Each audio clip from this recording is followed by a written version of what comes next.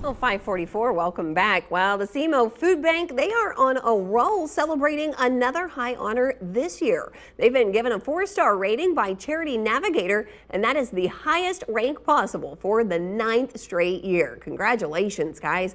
Now, Charity Navigator is a national resource that provides data and guidance on nonprofits, and a four-star rating indicates the best possible practices and financial efficiency.